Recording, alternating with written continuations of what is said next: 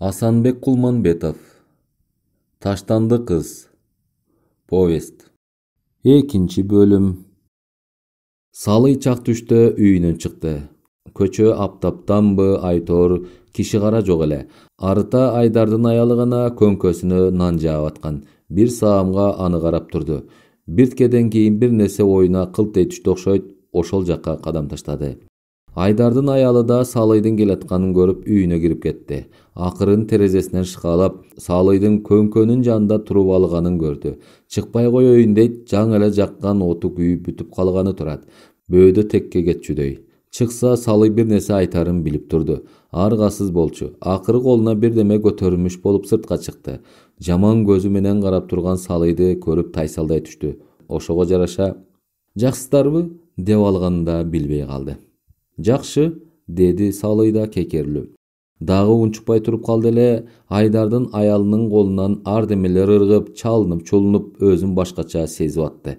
Башын көтөрө албайт анысы анысын салый да баамдады э бопуй деле сени менен сүйлөшөйүн деп келдим деп сөз баштаган салый тигинден сөз күтүп калды андан кулак мурун жок сыяктуу дым чыкпай дагы эле мелтейип бирдемелерди жасап жүрөт бир туруп көмөчтанга камыр салам деп камырын жерге түшүрүп алат күрөктүн башына ийилген камыр салынган көмөчтандын бирөөсүн да тоолотуп алып камыры топого аралашып калды аларды караган калыбынан жазбай салый үнсүз туруп калды акыры бопуй көмөч нандарын көңкөгө салып оозуна темирин жаап тегеретесин шубап болгон соң кайрадан унчукту акыры бүттүңбү эми сөзгө келесиңби ии анда угуп тур экөөбүз бир чети абысынбыз. Экинчиден башкаларга караганда кошуна болуп туугандан артыкпыз ошонубузду билип туруп эле абысын аңдышкан жөө болуп ит менен мышыкча ыркыраша беребизби? Жөн эле ыркырашпай бири бирибизди быкыйыбызды чукуп бири бирибизди туу басатка кондуруп бири бирибиздин жалаптыгыбызга жетип анан аз жерден бет тытышканга чейин барып ыя кандай дейсиң сен жанагы чыркараңды төрөгүчө аны бапестеп чоңойткуча отуң менен кирип күлүң менен чыгып эле жүрчү эмес белем. Бир чети күйөөлөрүбүз да өзүбүз да тең туш болуп тамагыбызда кызыл пайда болсо да чакырышып бирибизсиз бирибиздин тамагыбыздан өтчү эмес эле го. Бирибиз күйсөк экинчибиз кошо күйүп сүйүнсөк кошо сүйүнүп эле жаны бирге адамдай жүрчү эмес белек керим менен айдар экөөбүзгө баш көтөрүп катуу айтпай ошондой эле алар да кайда болсо бирге жүрчү эмес беле? Мурунку уул кызың көп байкалбай чоңоюп калды. А бу чыркараң төрөлгөндөн баштап эле чыртыя башчачу болдуң болгондо да чырдын баарын балаң үчүн баштайсың. Же айтпаса адамдын жаны кашаят бул балаңды манастан тууп алдың беле. Ойношоттон ысык дешет. Же ошол ысыктык биротоло каныңа уюп жүрөгүңдү да зилдетип атканбы? Салый сөзүнүн ушул жерине келгенде бопуй кирээрге тешик таппай кеткенсиде жедеп башына кан тээп кыпкызыл болуп алган алдыңа кетейин салый. Кечир кечир мен бейбакты баягы күнү жөн эле сөз тийгизип алыпмын. Ошондон бери өзүм деле уялып жүрөм. Кечирчи кызыңдын балекетин алайын салый. Экинчи балама болушуп кызыңа сөз тийгизсем маанекенин таз катыны болоюн баягыбыздай эле жүрөлү. Бирибиздикин бирибиз жашырып дегендей ол дале кудай айды. Бирибиздикин бирибиз жашырып деп мени жашыргыдай эмнем бар эле? Дагы эле сага ишенген курган жаным сеникин эле жашырып келатпаймынбы? Ооба салый ошентип жүрөсүң. Дагы ошонуңан жазба. Деле башым тартуу. Ушул жашыбызда айдар экөөбүздүн ортобузда кара мышык аралабасын айтканыңды кылып берейин алдыңа түшөйүн. Мага алдыма түшкөнүңдүн кереги жок андан көрө кызымды эркелетип керимдин кара чечекей кызы деген сөздөрүңдөн жанба ичиңди ириң арылабасын мен дагы чыркараңды жөн эле кара бала атап жүрөйүн.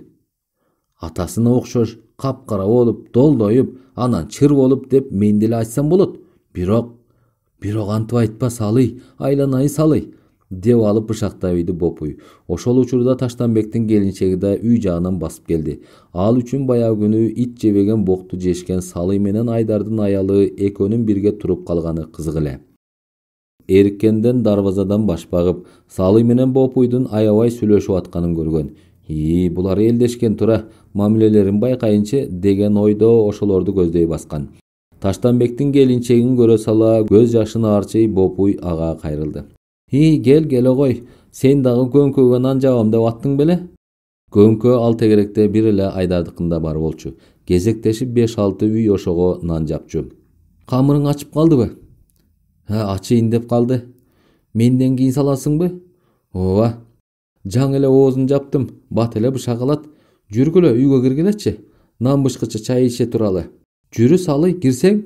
Деп чебеленген бопуй салый менен элдешкенине кубана болгон дүйүмүн тасмал үстүнө жайып кирди таштанбектин келинчеги салый менен бопуйду карап ушинтип элдешсиң да башынан эле ынтымактуу эмес беле эми эле балдарга болушуп деп ойлоп койду аңгыча сырттан өңгүрөгөн баланын үнү чыгып бети башынын топурагын жашка жуурултуп чыркара кирип келди ак жолтой мени чыбык менен чаап анан мен уруп койсом тиги экөө ага болушуп деп өңүрөп кирди адатынча ыйын тыйбай отургандарды көзгө илбеген чыркара апасы качан болушаарын күтүп өңгүрөп атты баягыдай бопуй алкынып чыгат беле бул сапар анта албады. Жүзү бир бозоруп бир кызарып мурду кыпчыла эмне кылаарын билбей кетти. Аргасы жок эле өзүн өзү зордоп чыркарага минтти. Э балам басылчы чоңоюп эле калдың даттанбасаң боло сен чоңойбодуңбу кичинекей кыздар менен урушпаш керек да ики мен урушпасам деле ак жолтой өзү эле чаап ийбедиби салый чыдабай кетти чыркаранын кичине экенине карабай алкынды эй бала эмне менин кичинекей кызымды сага алы жетип калыптырбы апаңа жөн эле эркелесиңби э тим эле маш аяктын баласы болсоң да басыл эркелеп көнгөн экенсиң да өзүң тийишип коюп анан кайра даттанат экенсиң тим элеби басыл мындай кайра каршы болгонду күтпөгөн бала тыйылып калды солуктай апасын карады эле ал көрмөксөн болуп ар кайсыны кармалап калды эч ким болушпасын түшүнгөн чыркара бурчка отуруп калды аны көрүп салый дердее түшкүнсүдү көрдүңбү балага болушпай койсо эле чыр болбойт анан балага эле болушуп чыга каласың деди бопуйга аңгыча чай ичилип болуп бата кылышты сыртка чыгып баратканда бопуй салыйды акырын колтуктап ала салый бир сөз бар эле токтой турчу деди да кайра ички үйгө ээрчитип кирип кетти ары жактан аңтарып жүрүп бир көйнөк бир жолук алып келди уучунда акча бар эле аны да салыйга сунуп салый мына бул алдын ала кечирим сураганым болсун өткөн кеткенди сууга салып жиберели азырынча ушуну алып турчу деди бопуй сен ушуну менен сатып алгың келип атабы жок андай деле эмес чын дилимден берип атам. Чынында менден анча мынча кемчиликтер кетип калды. Ошол сөздөрүмдү кайра алганым деп атпаймынбы? А бул катып жүргөн акча эле чай ичип кой деги эле ичибизге кир болбосунчу. А ооз басырык кылып атам дебейсиңби? Эми ошо да. Өйлүгүңдү көрөйүн катын болгон.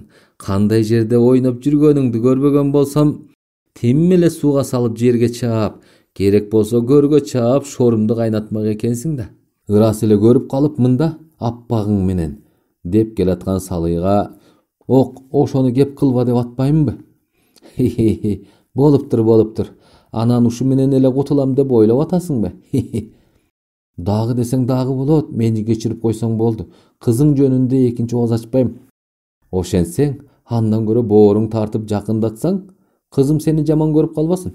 Макул кызыңан айланайын салый бопуйдун берген көйнөк жоолугун колтугуна кысып акчаны бекем жымыра сыртка чыкты убакыттар өтүп үмүт кылышкан менен асель төрөбөй койду доктурдан доктурга көрүнүштү табыптан табып калган жок баардыгы тең эле үмүттөндүргөн нерсени айтышат бирок бирөө да аткарылган жок эмнегедир боюна бүтпөй койду бир туруп закирди күнөөлөп коет оюнда таштанбектен жакшы эле төрөгөм анан эле закирден боюма бүтпөй аткан эмнеси балким закир деген ойлорго жетеленип жүрүп закирди да доктурга көрсөттүрдү. Бирок андан алынган анализ эч кынтыксыз чыкты. Муну укканда дагы бир жолу башка чапкандай болду. Ай кудайым ай бул иретим кагылайынымдын каргышы уруп атабы? Төрөрүн төрөп коюп таштап салган менбей бак деп өзүн өзү жемелейт. Чүнчүп да бүттү. Жүзүнөн кайгы муң кетпей санаачыл болуп кетти. Бир күнү сокулукта бир он алты жашар көзү ачык кыз пайда болуптур өткөн кеткенди келечегиң тим эле көзгө сайгандай айтып берет экен ал түгүл ага чоңдор да барып төлгө салдырып жолун аштырып кетип атыптыр деген сөздү угуп калды закирге айтпай камынып ошол жака жөнөдү айткандай кыздын үйүнө келгенде кезек күткөндөр көп экен апасы го сыягы бир аял кезекке тургандарды жазып атыптыр аселди кырк бешинчи кылып жазды балам бүгүн убары болбой эле эртең түшкө жугуп кел кезегиң ошондо келет а бүгүн жыйырма кишини кабыл алып жетишсе кандай деди аял апаке кеч болсо да күтөйүн бүгүн жумушту атайы жыйыштырып койгом үмүтүмдүн баары ушул кызда калды кабыл алып эле айтчусун айтып койсо болду же ары же бери болгудай болоюн апа мендей кызыңыз же келиниңиз деле бардыр убара кылбаңызчы деген асел аялдын колун кармай калып жалынычтуу сүйлөбүйдү көрөйүнчү деген аял ичкери кирип кетти кечке өжөрлөнүп отуруп жыйырма кишиден кийин аял жүрү кызым сени көргөнгө араң көндүрдүм кызым аябай чарчады азыр намазын окуп келсин деп бир бөлмөгө кирип койду бөлмө толук кыргызча жасалгаланган экен төрдө эки капталда кооздоп жасалган жер төшөк салынган төрдөгү өзү отурган калың көлдөлөңдүн бери жагында ак кийиз жайылып жатат үстүндө элик сап камчы теспе төлгө таш турат аңгыча сырт жактан он алты жаштагы татынакай кыз аста басып кирди келиндерчесинен чеке таңгыч тартынып үлбүрөк ак жоолук салынып алган узун көйнөк бак элегине чейин жеңил шым кийип алган аселдин жүрөгү опколжуй түштү кудай атобо жапжаш кыздын сүрү укмушко тим эле жүзүнөн жалын чачып тургансыйт эмне сыр көрсөтөр экен деп ойлоп алды кыз учурашкансып эки колун бооруна ала ийилип койду да ордуна отурду аселдин көздөрүнө тик карап теспесин тартып кирди бир маалда аселдин оң колун кармады эле ысык колдор денесин дүркүрөтүп ийди бир маалда кыз минтти. Эжеке сиз кантип ушул ишке бардыңыз? Аселдин көзү чакчая түштү. Тилин жуткан немедей мелтейди. Сиз кудайга жакпаган иш кылган экенсиз. Кызыңызды ара жолго таштаган турбайсызбы? деди төлгөөчү кыз сүрдүү көздөрүн тигилте. Анын көздөрүнөн жалтаныппы болбосо кылыгын ачык айтып атканына таң калыппы айтор. Анын атасы мени таштап кеткен да анан мен бирок мен атасына таштагам ара жолго эмес жок ара жолго таштагансыз эч кандай атасына таштаган эмессиз ал башка бирөөнүн колунда койчу сиңдим мен даана эле атасынын колуна таштагам сиз эмне айтсаңыз өзүңүз билесиз да бирок кызыңыз башканын колунда экенин айтып атышпайбы асел обдула калды сиңдим айтчы деги ал чын эле башканын колундабы каралдым бирөөнүн колунда кор болуп кенедейинен муң менен ыйга бөлөнүп калганбы бай болгур анча болду болгонун айтып берчи балким мени күтүп жүргөндүр апасын эстеп ар саат сайын ыйлап аткандыр айтчы эми деди көзүнөн аккан жашын жута эмеси айтып коеюн ал бирөөнүн колунда бирок бапестелип өңү башы жакшы кайгы капасыз өсүп жатат. Бакма кыз экенин билбейт дагы жакшы кыз өзү каргышайт элек. Эгер анын каргышына калсаңыз мындан жаман болмок чын элеби кызым капа кайгысыз чоңоюп келатабы ошондой эле болсунчу деги деген асел сүйүнүп кеткенсиди кыздан да дагы минтип сурады а мен менин багым ачылып төрөймүнбү сиздин багыңыз өз күнөөңүздү жуугандан кийин ачылат деди көзү ачык кыз кантип канткенде күнөөм жуулат деп жиберди асел мен тумар чийип берем дуба окуп ошол кабыл болуп жолуңуз ачылса күнөөңүз жуулат кызга дуба окутуп тумар чийдирип бекем катып алган асел чоң ишеним менен үйүнө келди түндүн бир маалы болуп сарсанаа болгон закир уктабай отурган эшик чырдей түшкөндө атып турду шашкалактап ача калды кайда жоголуп жүрөсүң деп бир чети ачуулана унчукту жаным менин мен жоголгон жокмун жолумду аштырып жүрдүм буюрса мен сага төрөп берем деген асел закирдин мойнуна жабыша калды этек жеңин делбиретип чуркап баратты чачтары жайылып башкача абалга келип алган кулунум каралдым бооретим менин кечир кечир мендей бейбак энеңди эми баардык күнөөмдү жууйм мен сени алып кетем. Мен сени жетелеп алып гүл бактуу шаркыраган суусу бар бейиш тоого алып кетем. Сен менин өзүмдүн кызым эмессиңби сен мени менен кетесиң а анги атаң мындан ары сени менен бирге болбош керек. Мен жеңил ойлуулукка жеңдирген турбаймынбы атаңа өчөшөм деп сени кайра атаңа алып барып берип тетирисинче атаңдын күнөөсүн жууган экенмин да. Жок ал сени багып алып бактылуу болуп а мен шорду бул жакта күндө үч маал буркурап боздоп сала сала жаш агызып өмүр бою өкүнүп жүрө берейин эми мен да кудайдан тилек кылып сени алып кетейин сени менен мен да бактылуу болоюн сага ини сиңди төрөп берем аларды эркелетип ойнотосуң сен ар дайым күлүп турасың ошол күлкүң гана мени бул жашоого жетелейт ансыз сенсиз мен бул дүйнөдө бейбакмын бет баадаймын сенсиз өмүр бою өзүмдү өзүм жектеп жүрөм сенсиз өмүр бою өзүмдү өзүм жектеп жүрүп өтөм сенсиз менин көзүмөн жаш жүрөгүмөн муң кетпейт ошон үчүн сен мени менен кетесиң сен эстүүсүң апаңды он ай омуртка сыздап көтөрүп жарык дүйнөгө алып келген өз апаңды кечире аласың кагылайыным бери келчи садага болоюн деп кобуранып күйүккөнүнө демиккенине карабай чуркап баратат. Мына кызы да тээ алыстан көрүндү. Ондорго чыгып калган татына жүздүү кызынын өңү моңайымдуу күлкүнү таптакыр унуткандай. Он жыл бою апа апаке сен ушинтип мени бирөөнүн колуна таштап коюп жоголмок белең. Бирөөнүн колуна кор кылып таштап салып жолобой коймок белең. Мен сени ушунча жыл апакелеп жүрүп күтпөдүмбү? Мен күлкүнү унуткам деп гана жол карап апасын сагынып апасын күтүп жүргөн сыяктуу. Кыпкызыл көйнөк кийип анысы шамалга желбиресе кыпкызыл жалынга айлана түшкөндөй сезилип алысты тиктеген татына кызына жетип калды. Мына мына мына мына берекем кагылайыным боорума келчи бой таштачы кучагыма чачыңдан мойнуңан балжытыңан шуу шу жыттап жыттап алайын көөдөнүм сергип кусалыгым арыла түшсүн келчи каралдым деп кыйкыра кызына кучагын жая эки үч кадам жетип калганда кызы дагы алыстап кетет эми кыпкызыл көйнөгү жалынга айлана күйүп атканына кайыл кызы мелтиреп карап турат жок мен сизди эч качан апа дей албайм анткени сиз ага татыктуу эмессиз коюңуз түштөн кийин кызым деп келгениңиз жарабайт тапкандыкы эмес баккандыкы дейт мен сизди керек болсо тааныбайм дагы жолобоңуз жаныма мен үчүн сиз бул дүйнөдө жоксуз деп ый аралаш кыйкырган кызы дагы арылайт кагылайыным ай мени шорлотпочу ого бетер мен бармын мен апаңмын турбаймынбы жаныңда деген асел солуктаган бойдон тура калды өпкөсү көп таң атканча ыйлагандай аны көрүп закир да ойгонуп кетти эмне болду деди закир билбейм деген асел жанагынын баары түш экенине ынана түшүп бир чети түшү болуп калганына сүйүнүп алгансыды ким билет ар кайсыны сүйлөйсүң бир туруп солуктап ыйлап каласың деген закир аселди өзүн көздөй тарта бооруна кысып чачынан сылады. Эмне эле мынча азап чегип атасың? Көп санаага алдырбасаңчы андан көрө бир нерсе айтсам макул болосуңбу деди закир.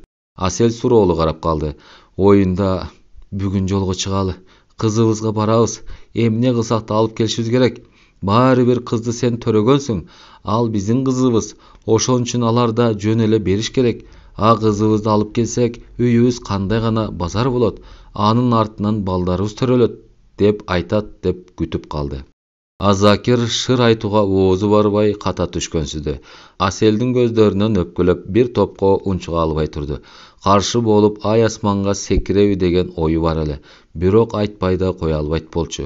Анткени асел да андан сөз күтүп аткан. Аңгыча асел чыдабай кетти. Бат эле эртең эле ошол кызыбызга барып келели деп айтып ийсе дегендей.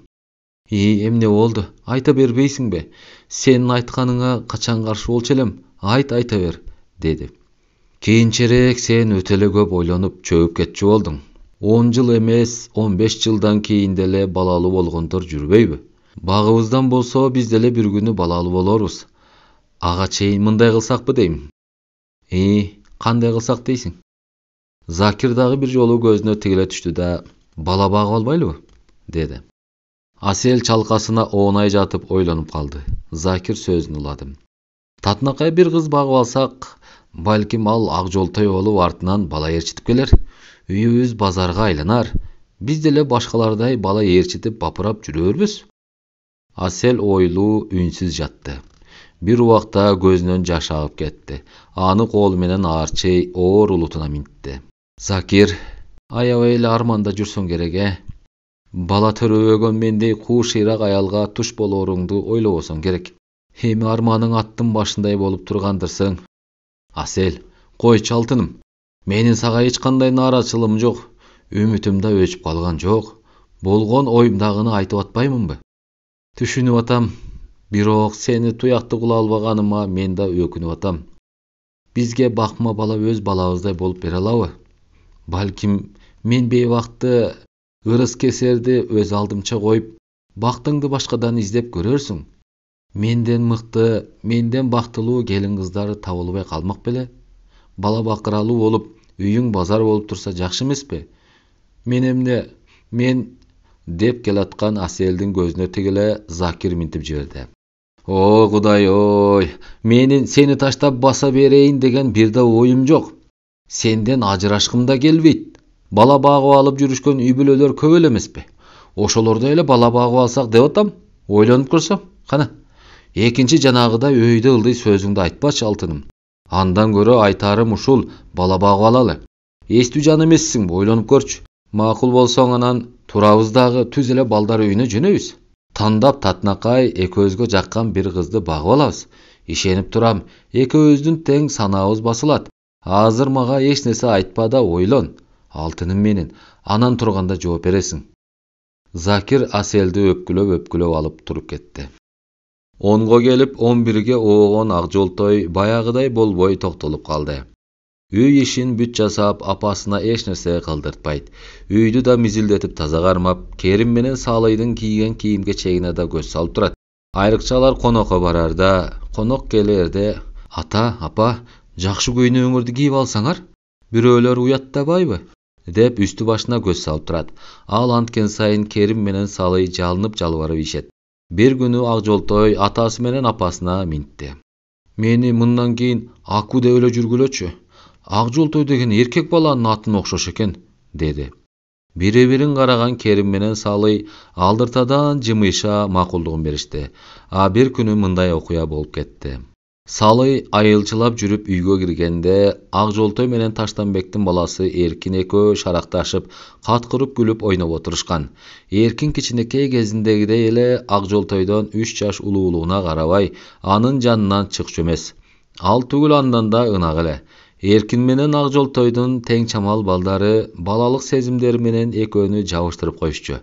Ар кайсы жерге эркин плюс ак жолтой дешип жаза беришчү таштанбек менен аялы аны билишип күлүп коюшчу керим менен салый чычалап калышчу экөөнүн тең оюнда бир нерсе болсо да өздөрүн өздөрү зордоп эми кичине балдар эмеспи чоңойгондо буларын ташташат да дешип соронушар эле а бүгүн экөөнүн ээн үйдө ойноп отурганына ачууланып кеттиби же оюнда эркинди алыстата албай жүргөнбү айтор салый кыйкырып алганын билбей калды минтип эмне кылып отурасыңар мен мындай болсом эле шынарлашып отуруп каласыңарбы чоңоюп калдыңар минтип кыз киши эркек бала менен ээн жолукпайт сен дагы эркин өзүң теңдүү эркек балдар менен ойно кызымды бөөдө азгырба чоңойгон кыз өзүнчө үйдө отуруп оокат кылат бар бара кой өз үйүңө бар өзүңчө ойно мындан кийин кызым эркек балага кошулбайт айтып коеюн сен дагы балдар менен ээн эркин күн түнгө карабай жүргөндү токтот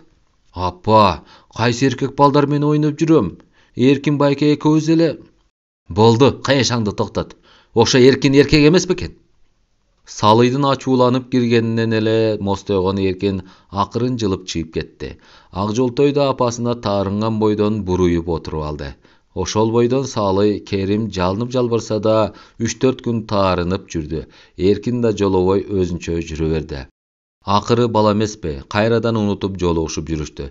Бирок мурункудай болбой эми жашыруун жолугуша турган болушту. Мүнөздөрү да өзгөрө түшкөнсүдү. Аны экөө тең байкашпаса да сагынышкан ага карындаштай чечекейлери чеч боло айтарга сөз таба албай кетишет. Оомалуу төкмөлүү дүйнө десең убакыт өткөн сайын экөөнүн сезимдери чындап эле өтө жакындыкка жетелеп келатканын билишпеди. Закир эртең менен чай ичип атып аселди кайра кайра карап отурду бир убакта закир минтти кана эмне дейсиң ойлондуңбу асел үнсүз жашын сүртө мурдун шуу тартып коет кандай дейсиң ушул эле туура го балким багып алган балабыз ак жолтой болсо төрөп алышың ажеп эмес деген закир жооп күтүп калды бирок дали аселде үн жок эле закир ашыр байкемдин уланын колго алып алабыз бала багып алсак сага жардам берет. Жанагы экинчи уулу уланы жакшы өсүп келатат кыздай болуп. Он үчкө келип калдыбы үй оокатында укмуштай кылат экен. Биз сурасак кудай деп эле беришет. Бир уулу шаарда чоңойсо жаманбы балабыз чоңойгуча сен үйдө болосуң. Кудайга шүгүр менин айлыгым жетет пособие деген болот. Ал жагынан деле коркпойбуз. Сен гана макул де керек болсо бүгүн эле издей баштайбыз. Закир асел экөө тең үнсүз чай ичип отурушту эмнегедир аселдин көзү жайнап өзүнө келип аткансыды жүзүнө кызыл жүгүрүп бети башын жууп келген неме эми жашы да тыйылып калган закир да суроолуу карап коет асел эми оюн жыйынтыктап айткандай болду бир убакта мейли бирок кичине кое туралы абамдын уланын алып келсең алып келе бер бирок эми мен бир өтүнүч кылайын ошону аткарбайлыбы деди закир кызыга түштү эмне өтүнүч экен деп экөөбүздөн кийинки айда отпускага чыгалы быйыл сөзсүз ысык көлгө барып эс алабыз дебедик беле э анан көлдүн жети өгүзүнө барсак теске жагында эмне бар ал жак салкын болот деп атышпайбы чолпон атадагы эле таякебиздер турган пансионатка барабыз кое турсаң жети өгүздү эмне үчүн айтып атам дебейсиңби ал жакка эс алсак жанагы кыз жашаган айыл ал жерге абдан жакын эмеспи кайра келгиче жакшылап көрүп жолугуп жолугуп алсамбы деп атпаймынбы де деген закирди ой баса түштү бир убакта макул дейли анан кантип кайсы шулто менен барып жолугам деп ойлоп атасың даана ызы чуга кабылып бөөдө куунтук жеп шерменде болбойлу деди асел эми оңтойлуу отуруп атайын пландап кирди жети өгүздөгү курортко келген закир менен асел бат эле өздөрү курдуу киши менен аял экөөнү таап таанышып алышты алар менен анча деле камыр жумур болуп кетишпейт беле таштанбектин колхозунда таштанбектин үйүнө да жакын жашаган колхоздун экономисти тигилердин тең туш аяштары болот экен аселдин ойлогону жерден табылып тиги аялы күйөөсү экөө менен закир экөө камыр жумур болуп алышты закир асел экөө тиги аял менен күйөөсүнө атайын эле ыкташып жакындай беришти бир күнү асел тигинин аялына атайын эле минтип калды а тиги аяшыңардыкына барып жүрөсүңөрбү көп эле барабыз алар биздикине барышат айтор кол үзүшпөйбүз айыл жеринде жакшы курбулар болгон кандай жакшы сиздерди бапырап тосуп алар аны айтпа аялы да жакшы тим эле берерге ашын таппай калат о анда жакшы турбайбы бизге айылыңарды көрсөтпөйсүңөрбү деди асел. Көрсөтөбүз коноктойбуз деди тигинин аялы. Асел тиги аялды макулдатып алганына ыраазы болуп калды эми ылдамыраак эле барышты тилеп атты. Айткандай бир күнү камынып калышты аселдин сүйүнгөнүн айтпа кечинде тигилердин машинасы менен жөнөп кетишти күйгүм талаш өткөнгө асел таштанбектин үйүнөн эч кимди көрбөй калган курорттогу чогуу туруп аткан кишилердин аяштары да таштанбектикине чукул турушат экен. Жатаарда биз сейилдеп келеличи демиш болуп закир менен асел экөө таштанбектикинен ары бери өтүп келишти. Эмнегедир эч кимди жолуктура алышпады. А жаткан менен таң атканча уктай албай чыкты. Бир маалда көзү илинип кеткен экен түш көрдү. Түшүндө суйкайган татынакай болгон кызы мостоюп карап турат. Деген менен болбой эле алыстап тура берет. Көзүнөн жаш тыйылбай шолоктогон аселди көргүсү келбей тескери басат. Бир маалда асел жетип жаңы эле колдон сермээрде жолугуңуз мага сизди жек көрөм мени таштап кеткенсиз апам эмессиз деп бакырып ыйлап жөнөгөн кызынын артынан айланайыным ай мени бейбакты кечирип көр мен сенин апаңмын деген асел да кыйкырып чуркап жөнөйт ошол кезде закир дагы түрткүлөп ойготуп атыптыр. Өпкөсү көп солуктап калыптыр. Кантесиң башка нерселерди ойлоп жатып жүрсөң боло бакырып ийдиң да деген закир кулагына шыбырады андан кийин асел таптакыр уктабай жатты. Эртең менен чай ичип атканда асел атайын сөз баштады. Кошуналардан жөн салды сураган киши болду минтип силер жакта кандай тиги бала бакыралууларды айтам. Айылдыктар чубуртуп эле төрөй беришет. Анан байкуш аялдар уурукчан болуп калат дешкендерди көп угам сиздердики болсо төрт бала дедиңер. Азыр доктурлар сактанып төрөгөндү сунуш кылып калышпадыбы үй ээсинин аялы. Эми ар кандай эле? Кээси чууртуп эле төрөй беретчүн эле. Кээси ошентип азыраак төрөгөнгө аракет кылышат турбайбы? Аны айталы бирөөнө зар дешкендей кээ бирөө балага да жетпей жүрүшпөйбү? Көп балабы аз балабы өзүнүн ырыскысы бар тура деди жиптин учугу чыгып келатканын баамдай койгон асел ошону айтпайсызбы а кээ бирөө баласын таштай качып атпайбы шаарда а бул айылдарда да чыгабы андай баласын таштап салгандар же бала таап алгандар деп сурай калды башынан керимдин кызы бакма экенин бир киши да ооздорунан чыгарчу эмес бул сапар аялы айтып болгондо күйөөсү чак чая карап койду эле аял күңкүлдөй минтти башка жакта андайлар болсо болгондур бирок биздин айылда жок бала таштагандар асел башка чапкандай боло түштү кайра такып сурашта туура эмес болчу жүрөгү мыкчыла түшсө да өзүн колго ала аста андайлар болбой эле койсун деди баары бир ар кандай сөз баштап сөз учугун бала таштап салган бала таап алгандарга буруп атты. Талай жолу аракет кылып эптеп шек шуурат билүүгө аракет кылса да эч нерсе таппай койду.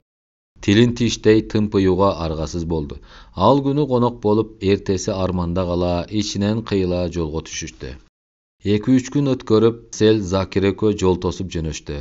Жанындагыларга дайын айткан жок. Түз эле мектепке келишти таштанбектин фамилиясын да билбейт экен атайын эле болжолдошуп бешинчи класста окуган таштанбектин кызын сураштырып көрүштү таштанбектин үйүндө болжолду айтышты. Бир мугалим колхоздун экспедитору таштанбекти айтты эле асел ии ооба ооба ошол таштанбек деп жиберди а ал таштанбектин кызы алтынчы класста окуйт мына бул коридордун баш жагында кыргыз тил адабияты деген кабинет класс бар. Алар ошол жерде болуш керек. Деп көрсөтүп койду жанагы мугалим. Жаңы эле кирүүгө звонок болгон коридор тымтырс болчу. Жүрөгүнүн соккону сыртка чейин дүкүлдөп угулуп аткандай аста баскан асел кабинетке чукулдады. Улам тыкылдатканы колун сунат деле кайра тартып алат. Эки үч жолу ошентти да бир убакта тыкылдатып калды. Ичтен мугалим аял чыкты. Кечирип коюңуз алыстан келаттык эле тиги таштанбектин кызын бир эки мүнөткө бере турасызбы деди асел мугалим аял унчукпай кайра кирип кетти. Аңгыча иштен таштанбекке окшогон көзү бир аз ойноктогон татынакай тыкан кийинген кыз чыкты. Шартылдап чыгып келип саламатсыздар деген бойдон суроолуу карап калды. Асел менен закир да бири бирин караган бойдон бир саамга тилдерин жуткансып туруп калышты. Бир убакта асел тиги кызды коомай кучактап чекесинен өбүп койду. Таштанбектин кызысыңбы деди. Ооба таштанбек кайда деп сурап койду закир. Азыр контордо да. Ошол жактан сурабайсыздарбы деди тыпылдаган кыз жок биз кетип баратып эле таштанбектин шаарга кеткен кетпегенин биле кетели деп эле сени чакыра калбадыкпы деди закир. Асел азыр колун чыгарса биротоло таппай калчудай тиги кызды эки кароосунан ала өпкүлөп ийди аябай чоң кыз болгон турбайсыңбы? дегиче асел көзүнөн аккан жашты аарчып өйдө боло берди. Атам контордо эле ошол жактан сураңыздар. Биз диктант жазып атканбыз. Эже баткир деген. Деген кыз шарт бурулуп чуркап кирип кетти. Колунан жулдурган немедей артынан карап калган асел жүрөгүн мыкчый бети башын бырыштырган бойдон закирге сүйөнүп туруп калды. Закир колтуктай сыртка жөнөдү. Курортко жетишип киргенде эле төшөккө улаган асел буркурап атты. Биротоло айрылган турбаймынбы? Каралдым мени тааныбай калганы ушул беле арман! Мен акмак мен бетсиз эмнеге таштанбекке кайра алып барып таштап салдым экен өз кызың өзүңдү тааныбай калгандан кийин мени чыга чапчу киши жок деп жаш жута өксөп атты. Закир да жөн койду. Өксөп өксөп ички бугуу чыгып алсынчы дегендей абалда эле. Айткандай эле асел бир топтоо барып ыйын басып ошол бойдон сулап жатты. Көпкө чейин баш көтөргөн жок. Бир убакта закир басып келди да жанына отуруп чачынан аста сылай минтип айтты.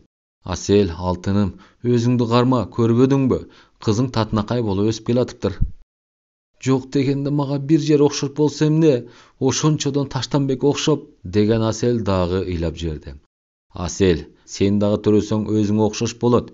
Өткөндүн баары унутулат эми белиңди бек буу өзүң айтпадың беле кызымды бир эле көрүп алайын деп. Көрдүң эми аман болсун биз да татынакай бир бала багып алабыз ал ак жолтой болот. Көрөсүң артынан бала ээрчитип келет керек болсо сен чууртуп төрөйсүң тур бет башыңды жуу деген закир аселди колтуктан алып тургузду дем алыш күнү эле эртең менен эле үйдө жүргөн ак жолтойду таппай калды салый адегенде көп этибар алган жок эле көпкө жоголуп кеткенге сарсанаа боло баштады улам кирип чыгып эч жерден көрө албады бирдеме болсо ал түгүл ойногусу келсе да апасына сөзсүз айтчу бул сапар дайынсыз болгону тынчын кетирип атты салыйдын тынчы кетип алда неге кобуранып кирип чыгып атканынан улам керим минтип калды. Э салый эмне эле кобуранып собуранып кирип чыгып атасың баягы аку эле көрүнбөйт. Эки үч саат болуп кетти. Каяка кеткенин да билбейм. Бир ооз айтып койбойбу. Чоңойгон сайын бул кыз өзүн өзү билип баратат окшойт. Келсинчи колтугунан оюп оюп койбосомбу а кемпир кызың көп болсо он бирге келип калды.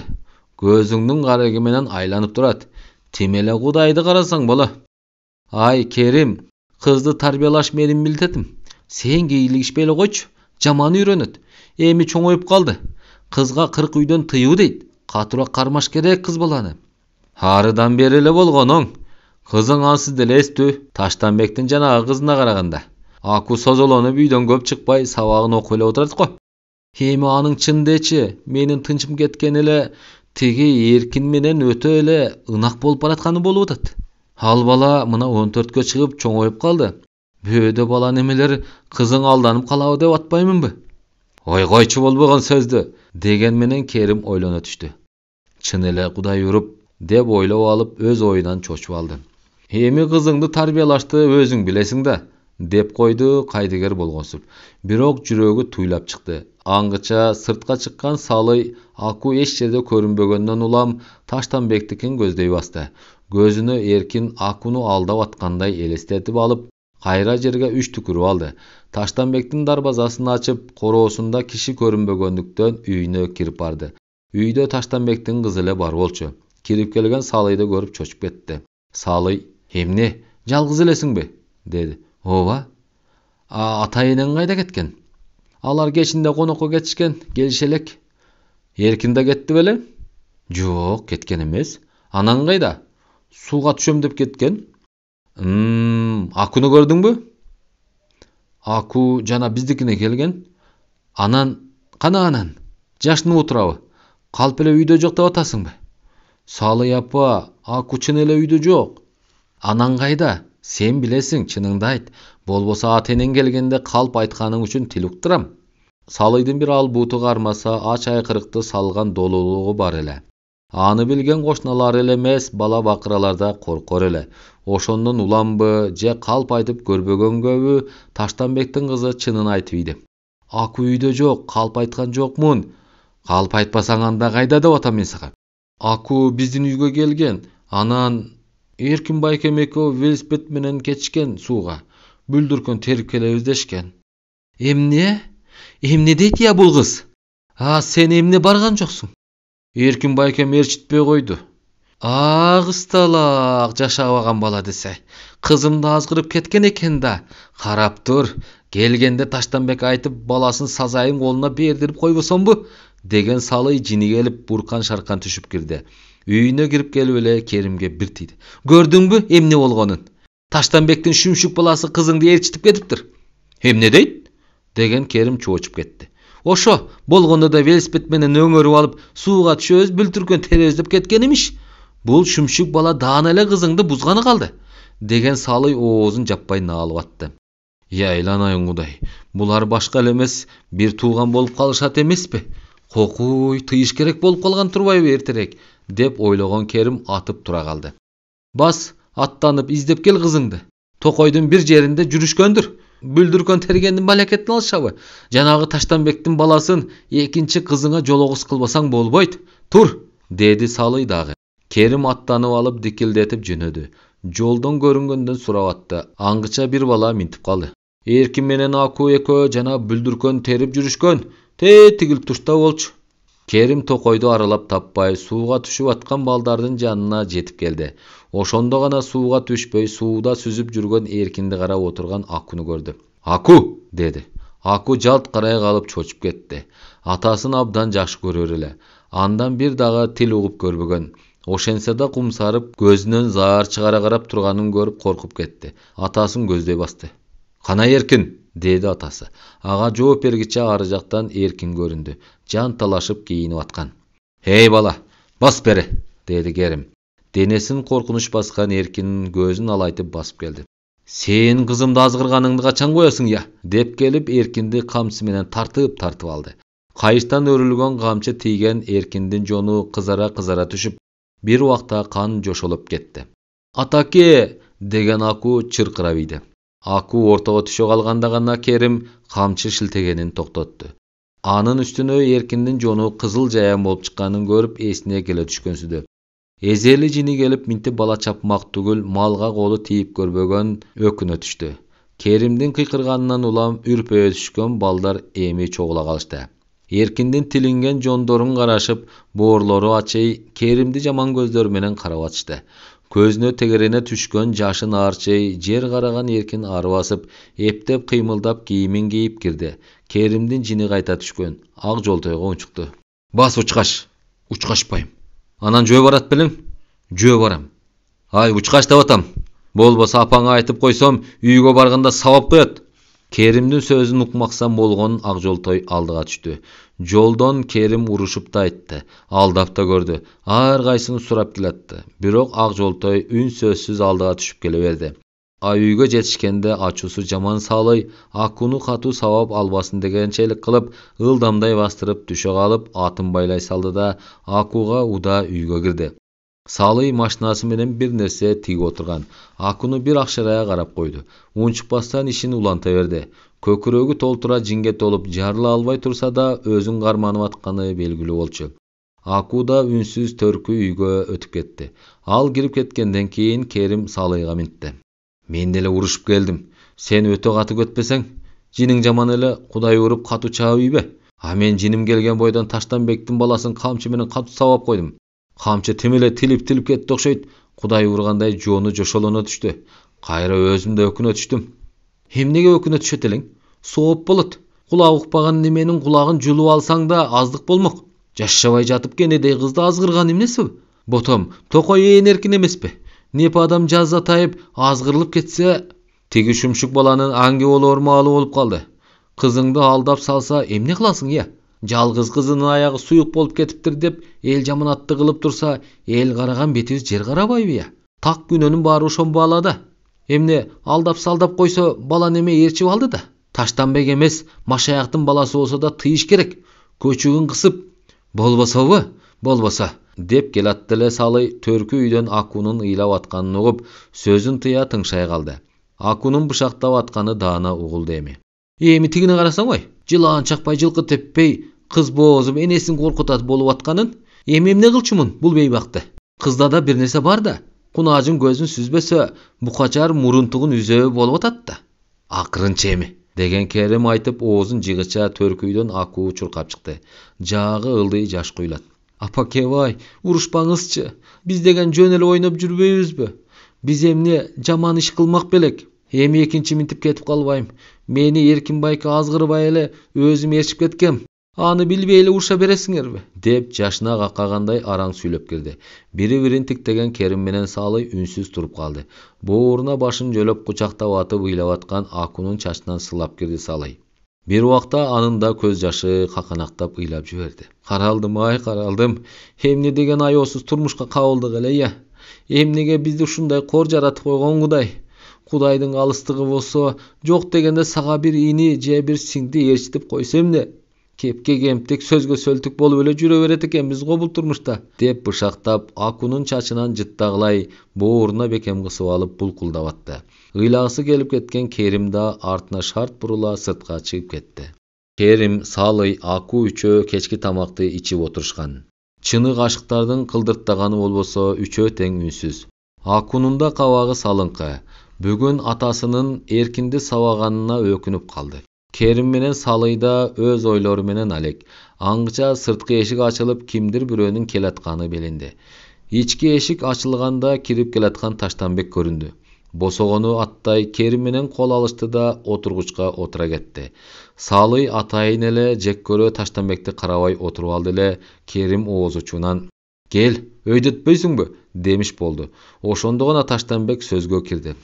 э керим байке ушу сиз да бала сабайсызбы мен сизди бир тууган агамдай көрүп жүрсөм анан сиздин кылыгыңыз бул болсо жолуңуз болсун салый жарылып кеткенсиди эмне бизди сабайын деп келдиңби атайын камынып келгенсиң го деди силерди сабайын деп келген жокмун силер сабаган баламдын эмне жазыгы бар экен ошону билейин деп келдим сенин да күнөөң болуш керек бас териштирейин десем келбей койду анын үстүнө жону тим эле тилим тилим болуп карттанып калыптыр кылган күнөөсүн айтып бергилечи я айланайын байке ушу балдар үчүн ит жебеген бокту жешип бири бирибизге киришип чыгышпай калабызбы ой күнөөсү болсо кулагынан толгой кармап менин алдыма жетелеп келбейсизби былчылдатып сабап калбай бала үчүн эле болсо жаман катынча майда бачегибизден бери айтышып быкый чыкыйыбызды чукушуп эле жатып калалыбы кана эмне күнөөсү бар экен айткыла деди таштанбек эмне күнөөсү бар дейсиң чоңоюп калган уулуң кенедей кызымды велосипедине өңөрүп алып жалгыз токой арлап кеткени күнөө эмеспи? Ал балаң кызымды азгырып жүрөт. Кокус шайтан азгырып кызымды булгап койсо эмне кылам ыя деп салый бир тийде эле таштанбек жанагы абалынан жазбай унчукту силердин кыз деле чоңоюп калды. Мына биздин кыйкырганыбызды укпайын деп ички үйгө кире качты мен силерге тамаша чындап айтып эле жүрбөймүнбү? Куда болобуз? деп. Эмне силерди жаман көргөнүмдөн айтып жүрүптүрмүнбү? Эки бала ынтымактуу экен бирин бири жакшы көргөн жаманбы буларга жакшылап түшүндүрүш керек кантип эле ошондой тескери ой башыңарга келе калат ошончолук эле бирдеме болсо болсо менин келиним болот жаман болмок беле таштанбектин быкый чыкыйды чукушуп эле жатып калалыбы деген сөзү керимдин жүрөгүнө тык эте түшкөн азыр дагы салый бирдеме дейин деп келатты эле чындап эле кыйкырып жиберди ой катын басылчы кечке эле ажылдай бересиңби таштанбектин айтканы туура болуп калды андан көрө балдарга алдап соолап үйрөтүш керек болчу. Болду дейм. Жөнү жок ажылдыганыңды токтот салый таш тиштегендей боло түштү ошол бойдон унчукпай тиккенин уланта берди керим да сөзүн улантпай туруп калды таштанбек да үнсүз керим ичинен өз учурунда унчугушпай калганына кымыңдай түштү болбосо аялдык кылып салый ажылдай берсе чын эле таштанбек быкый чыкыйды чукуп ийсе эмне болмок дегендей бир чети унчукпай калган инисиндей таштанбекке ыраазы боло түштү ташы мени кечирип койчу эзе эле ачуум келбеген жаным кудай уруп ачууга бериле түшкөн турбаймынбы эми бала эмеспи алдап соолап коеюн бала үчүн чын эле киришип чыгышпай калган болмок беле. Уулуң деле жакшы бала. Куулук шумдугу жок дегендей деп мукактана сүйлөдү. Анан салыйга карап эй турбайсыңбы? Чай бербейсиңби? деп бир тийди жо жо жо чай ичтим чынында жиним менен келдим эле. Деле байке улуулугуңузга карабайт элем могу жанагы кызыңарда эмне күнөө силер да аны урушуп аткан окшойсуңар. Ыйлаган бойдон тиги үйгө кире качкан үчүн боорум ооруп кетпедиби мени билесиңер бирөөнүн баласына кол тийгизмек түгүл өз балдарыма катуу айтпайм анан аку деле чоңоюп калды жөнү жок кыйкырып кыспасаңар деле эстүү кыз болот көрөсүңөр өгүнү кызуу келдим эле жумуштан эркин аку экөө бак короодо селкинчек тебип атышыптыр. Учурашканына ыраазы болуп акуга о айланайын десе өзүм келин кылып алам го деп жалынып эркинге эй бала аку чоңойгондо келинчегиң болот акуну таарынтпай башкалардан көрө ынтымактуу болсоңор. Макулбу десем экөө тең мулуюп күлүп калышты. Уялып коюшат керим байке балдардын ушундай ынтымактуу болгону жаманбы эстүүсүңөр экинчи мындай болбосун деген таштанбек ордунан турмакчы болду эле керим таштанбек айланайын чай ич отур эми андай болбойт деди. Таштанбек болбой нан ооз тийди да чыгып кетти. Керим делдейген бойдон отуруп калды таштанбектин боору тартып керек болсо акууну өтө жакынсып сүйлөгөнүнө тим эле ичи ачышып бышып кетти туруп туруп жинди болгон немедей башындагы калпагын алып тизесин чаап чаап алды ол да кудайды тим эле таштанбекти көргөндө ээсин көргөн күчүкчө жалпаңдап ийбедиң беле эми эмне жиниңди келтирип атасың анын эмнесинен коркуп кеттиң ботом маадемектен балаңды бекитип кирип чыкпай эле анан жаман калпагы менен өзүнө өзү койгулап деп наалып кирди салый э кокуй айланайын кудай өзүмдү өзүм чаппаганда кимди чабам я. Кайсы кыйратып койгонума аны чабам. Кайсы бейишти орнотуп койгонума кыйын болуп кайсы балдарыбызды бапыратып базар кылганыбызга кыйкырам я. Же эмне быкыйыбыз жок беле ал чукуй турган анын алдында коркок билиш болбогондой эмне элеги я. Ай кемпир ай кемпир же мейлиби мына ал кийин эмес азыр эле алып жаның тынсын дейинби кана билерман экенсиң айтчы деле тойдум керек болсо деп көзүнөн жаш айланганын сезбей кыйкырып келаткан керимге салый да ый аралаш кыйкырып ийди о ай болду жинди болуп атасыңбы сени бирөө тукуруп атабы я! Койчу деги эмне менен күчүңдү чыгарып атасың? Эл укса эмне дейт я катуу күн? Ыя де кылгылыкты кылып кылжып менен бууган сенсиң акмак катын былгытып былгытып гана чыга бергиң барбы анан тилиңди агытып кыласың эмне кылайын анан? Кана эмне кыл дегениң турасың я так атаңдын башы кыл тим эле тууп базар кылып койгонсуп ажылдайсың акмак катын эмне кыйкырасың туудура албаган өзүңдөн көрбөйсүңбү өгүздөй өкүрбөй менби туудура албаган менби өгүз ме сага ме? Жаны кашайып кеткен эле улагага илип койгон табылгы камчыны ала калып салыйды жон талаштыра чаап чаап жиберди ошол кезде ички үйдөн аку атып чыгып керимдин колуна чабышты атаке атакебай чаппаңызчы апамды эмне эле мен үчүн урушуп атасыңар атакебай деп чырылдап ыйлап ийди акунун ыйын үнүн угуп керим шалдая түштү аны бир карап алып энтиккен бойдон артына бурула сырттуу көздөй чыгып баратып камчыны улагага ыргытып ийди а соолуктаган саалый акуну кучактап алып ыйлап кирди көлгө барып кызына атайын барса кызы тааныбай же бир эле жери өзүнө окшобогонуна ызаланып келген асел сүйлөбөс болуп кетти утур утур эле үшкүрүнөт закирдин көңүлүн көтөрмөлөгөн сөздөрүнө аста гана күлүп жооп берип коет. Бирок бала багып алууга каршы болгон жок. Бирок бир гана өтүнүч кылып баягы сокулук жактагы төлгөөчү кызга дагы бир жолу барып келүүнү каалап туруп алды. Закир андай төлгө көзү ачык дегендерге ырым жырымдарга ишенбейт эле бирок аселдин көңүлү үчүн эле барып келүүнү туура көрүп бир күнү дем алышта жөнөп кетишти закир менен кирген аселди көрүп эле төлгөөчү кыз тааный койду маңдайына кол жаңсай отургузуп атып шаардансызбы атыңыз асел беле деп сурады асел башын ийкегилей өзүң айткандай болду окшойт кызымды экинчи кайрып ала албай калдым бала багып алалы дедик эле анан сага дагы бир жолу төлгө салдырып алсамбы деп деди асел төлгөөчү кыз аста башын ийкеп койду да кийиздин үстүндө жаткан теспени колуна алды аселдин көзүнөн көзүн албай колу теспени тизмектеп жылдырып атты асел да аны тиктей төлгөөчү кыздын көздөрүнөн нур чыгып атканын байкады көөдөнү толкуп денеси ымыр чымыр боло өзүн каалыгып учуп бараткансыда төлгөөчү кызга келгенине ыраазы боло эртеңки күн ал үчүн өзүнөн өзү жарык чачкандай болуп баратты төлгөөчү кыз теспесин терип болуп ак кийиздин үстүндөгү кырк бир таш менен төлгөө сала баштады. Баарын жыйынтыктап болуп оңдонуп отурду да айта баштады минтип асель эже көөдөнүңүз букка толуп көңүлүңүз аябай чөгүп турат кандайдыр бир жарык издеп атканыңыз белгилүү сиз убактылуу гана кыйналып атасыз. Мына төлгө таш да ачык айтып атат жолуңуз ачык сизди алдыда бир чоң бакыт күтүп атат бирок сиз аны өзүңүз ишенбей ал бакытты ала албай атасыз. Бирок баары бир ал сизге келет.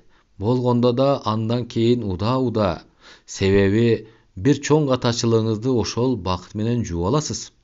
Төлгөөчү кыздын ар бир сөзү кулагына жаңырып ээргип баратты асел кантип чыдай албай кетти белгисиз минтип сурап ийди айланайын сеңдим баарынан дагы баягы жоголгон кызымды биротоло таба албай каламбы эже ал кызыңызды тапкансыз ал түгүл сиздин босогодо турат күлүп жайнап. Бирок ортоңордо бир чек бар. Алар силерди азыр кошпойт. Бирок кызыңардын чекесинде жылдызы бар. Ый муңсуз күлүп турат. Эч нерседен бейгам бирок баары бир кучагыңар жуурулушуп атат. Бул кийин абдан кеч болчудай. Анын күлкүсүнө да ыйына да сиз гана себепчи болосуз. Ошон үчүн ага бактылуу өмүр тилеп эсиңизден чыгарып койгонуңуз оң. Ошол. А азыр сиз эч нерсеге кылчактабай түз барып тилегиңизди ишке ашырыңыз. Ал эми жолдошуңуз да сизден чоң жөлөөңүз өбөгүңүз таянарыңыз экен. Сиздин көңүлүңүзгө кир жукпасын тилейт. Оор тагдыр менен баш кошкон окшойсуңар. Бирок экөөңөрдүн ортоңордо жылдыз жанып турат. Мына бешик түшүп атат. Кыскасы бактылуусуз эже тартынбай кылган аракетиңиз гана бактылуу кылат деген төлгөөчү кыз бир топ нерселерди айтты. Анын ар бир сөзүн жүрөгүнө сактап кулагына түйүп аларды көңүл талкуусуна коюп атты. Демек кылчактабай гана бала бага беришим керек окшойт чын эле менин болгон күнөөмдү кызымды таштап салган абийирсиздигимди бала багуу менен гана тазалайт окшойм болду бир тилегим бир ишеничим эртеңки күн. Закирим эмне десе мен ошого макулмун деген чечимди ичинен кайра кайра кайталап алды мурунтан даярдап алган акча тыйынын ырымы кылып столдун четине койду төлгөөчү кыз дагы бир сыйра үнсүз теспе терип чыкты да күбүрөп бата сүрөсүн окуп бата кылды асел менен закир да бата кылып ордуларынан турду бул сапар деле закир төлгөөчүгө көп ишенген жок бир гана оюнда айтып атканынын көбү төп келди балким мурун бүт сурап алган болуш керек. Мейли эмнеси болсо да аселдин ойлогонун аткардым деп койду. Эртеси эле бала багуунун аракетин кылышып документ даярдай башташты.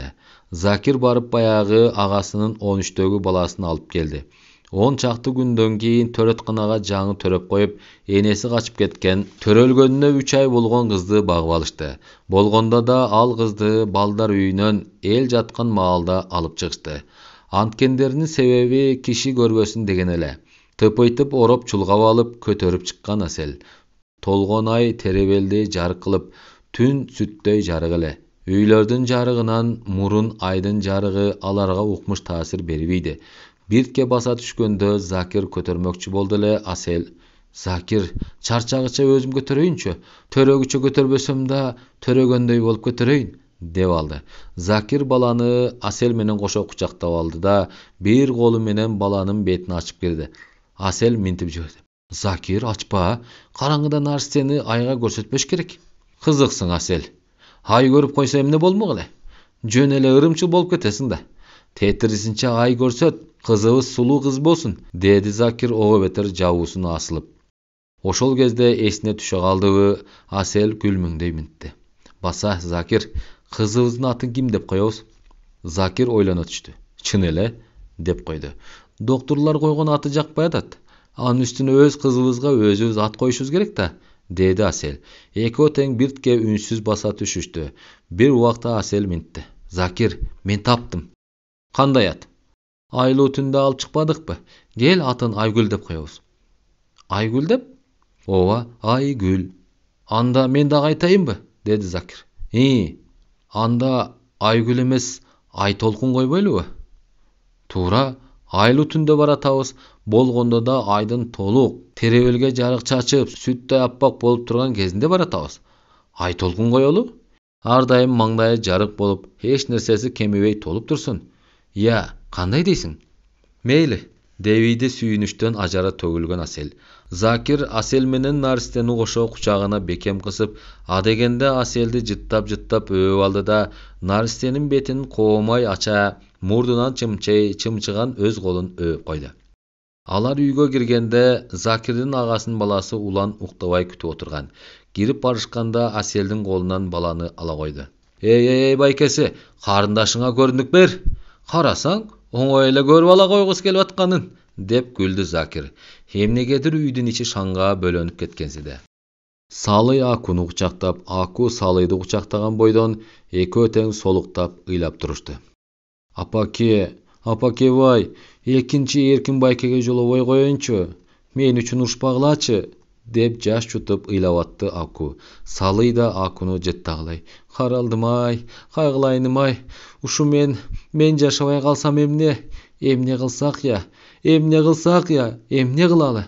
Кетип калалыбы бияктан эл тааныбаган эл билбеген жакка кетип калсак эмне болот я? Деп кобуранып атты салый менен аку кучакташкан бойдон ыйлашып дагы канчага турмак ким билет сырттан эркектердин бакылдашканын угуп элеңдей калышты. Сырттагы бакылдашкандардын себеби мындай болгон. Салыйды камчы менен тартып тартып жиберип камчыны улагага ыргытып ийген керим сыртка чыккан ошол кезде айдар таштанбек менен сүйлөшүп туруп атайын эле керимди көздөй басып келди бүгүнкү окуяны билбейт беле айдар аялы таштанбектикине кирип калып баарын көрүп уккан андан келип эле айдарга айткан айдар керимдикинен чыгып келаткан таштанбекти утурлай басып ар кайсынын сурагыча мintкен бу керимди кудай урган го сенин уулуңду эмне үчүн сабап жүрөт э айдаке эми болор иш болуптур анын эмнесин сурайсыз деген таштанбек андан ары басмакчы болгондо колунан кармап алып кое бербеген айдар. Ой аны жок дегенде элге салып алдыңа түшүртпөйсүңбү кутура баштаган го ушундайда желин чыгарып койбосо башкабызды балдарыбызды сабап жүрбөсүн деги эле өз канынан чыккансып бакма кызга болушкан эмнеси? Балдар деген ойнойт. Сенин балаңды сабагыча жанагы каражаак катыны кызын тыйбайбы? Эркек балдар менен баскыс кылып кызы көчөчү болуп калса өздөрүнүн эле абири төгүлгөн эмеспи айттыңбы бирдеме деп деген кошоматтанып таштанбек бир саамга айдарды жаман көз менен карап алды айдаке бир чети керим менен тең чамал кишисиз мен экөөңөрдү бирдей көрөм мага караганда керим менен экөөңөр тууганда болуп кетесиңер анан эмне үчүн керим экөөбүздүн ортобузга чагым кылып атасыз түшүнбөстүк менен кызын азгырды деп ойлоп уулумду сабаса сабагандыр а биз ал үчүн эле жүз карашпай кетпейбиз да ал эми сиздин аларды баласы деп тутканыңыз бакмагыз деп быкый чукуганыңыз адамгерчиликке жатпайт коюңуз мага мындай кептериңиз жакпай калды сакалдуу эле кишилер ушундай кыласыңар деген бойдон айдардын колунан колун тартып алып басып кеткен эмне кыларын билбей жалдырай түшүп үйүнөн чыккан керимди көрүп аны көздөй баскан кабагына каар жаап кыртышы сүйбөй турган керим айдарды карагысы келбей короосун көздөй кирип кеткиче айдар эй керим кандай деп жиберди ошондо гана башын көтөрүп жаңы байкагансып оозучунан жакшы демиш болуп койду кыжыры келе түшсө да сыр билгизбей айдар менен кол алышып коюп кайра басмакчы болду эле айдар колдон ала ой эмне эле мулуюп калгансың токточу сүйлөшөлү деди керим айласыз туруп калды кошунаң экөөң эмне эле тескери карап калгансыңар деп көзүн күлүңдөтө сурады айдар койчу сен ким эле тескери карашып калыптыр билмексен болбой эле кой таштанбек сени сөгүп баратат сен аны жек көрүп калсаң да сыр билгизбемиш болосуң эмне болду керим сен эмне мени да коркуткуң келип атабы сүйлөбөй же таштанбек экөөңү чабыштырган мен бекенмин бириң балаңа болушуп бириң кызыңа болушуп айрыкча сен кызыңды тыйганын ордуна бирөөнүн баласын сабаганың эмнең деле көп балалуу болсоң жаныңа киши тургузмак эмес окшойсуң мен тууган үчүн күйүп айтып атам сага сенин тууганың деп таштанбек кекетип кетти сен бир айдар ушунчаңда жап жаагыңды тим койсо өтүп баратасың. Жатыңдашым болсоң да жаагыңды айра чабам азыр эмне колуңан келет бекен бала уурдаган былыгым чыгат десең каалаганыңды кыл анча каалап турсаң ачыкка чыгышып алалы мынча болуп калыптырсың эми баарын билишип алгыла акмак ай акмак элесиң да кусурум урсун сени деген керим жерге бир түкүрүп алып кайра басканда салый менен акуу үйдөн чыга калды эмне болду деди салый айдарды карай кайдан билем абышкаң эле кыртышы сүйбөй калыптыр. Же жаман айтсамчы силердин былык сылыыңарды жашырган эле жазыгымбы тууган деп тилди тишке катып жүрсөм күйөөң тоготкусу жок. Эмне? Салыйдын көзү чанагынан чыкчуудай чакчая калды. Өңү бозоруп чыккан. Ай айдар былык сылык деген баардык эле адамда болот. Тим койсо эмне эле чыкчырылып төбөгө чыгасың я? О сенин тууган болгонуңду катындан жаман неме турбайсыңбы? Тебетей кийбей кал биздин турмушубузга кийлигишип эмне кыласың андай эле быкый чукуша турган болсок чукушалы мөөрөйдү ким алар экен азыр тим эле алдагы көгөргөн бетиңди эл карагыс кылып коюп жүрбөйүн я кантип гана уялбай кырданасың дагы бирдеме айта түш эмне болор экен кошунанын баарын чакырып туруп абийириңди төгөн байкуш жерге да баса албай каласың кана айт деди эчүңдү деп же үйчүдөй керек болсо беттен чапчып жыгылчудай болгон саалый айдардын бет маңдайына жетип барды эмнегедир айдар какагандай боло түштү тилин жуткансып бир бозоро бир кызара эмне кылар айласын таппай кетти кайдагы былыгым бар эле эмнени айтып атат кайсыл кылыгым үчүн эл алдына абийиримди төккөн атат же жөн эле догуруңганыбы бул акмак катындын же бөөдө бетимди тытабы деген арсар ойдо боло түштү айдар аңгыча ызы чууну уккан айдардын аялы жетип келди ай катын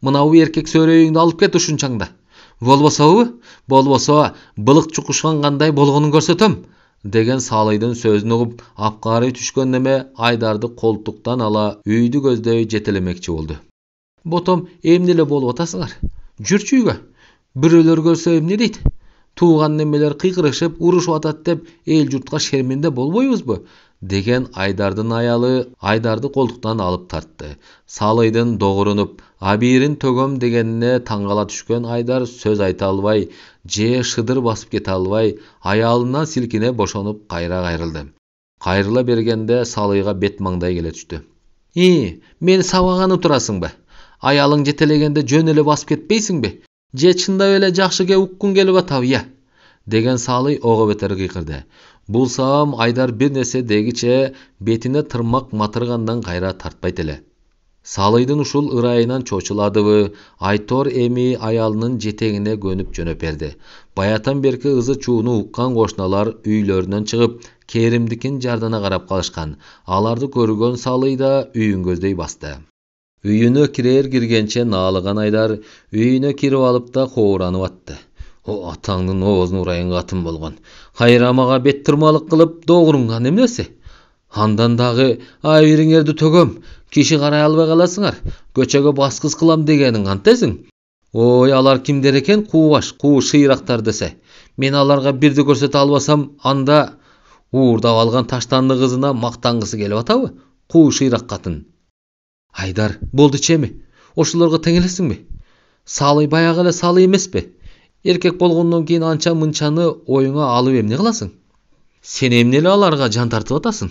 Ошон үчүн тиги катын кыйын болуп атабы айдардын аялы үнсүз туруп калды салы келип алып баягы көргөндөрүн сайрап берип аткандай элестетип алып ичиркенип кетти бир нерсеге алаксымыш болуп кетти аселдин ажары төгүлүп баягыдай бүркөлгөн кабагы жок жайдарыланып калган кыбыраган наристеси менен алек болуп кантип убакыт өтүп сезбей калгансыды үн чыгарып күлгөн сайын тим эле үстүнө үйрүлө түшүп калат наристеге алаксыппы таштанбекти таштаган кызын эстебей калды закирдин агасынын он үчтөгү уланы да аселдин колуна кол болуп кыздан артык оокат кылат мектептен келген эле жеңеси менен ай толкунга каралашып эч жака чыкпайт зыпылдаган күндөр өтүп атты.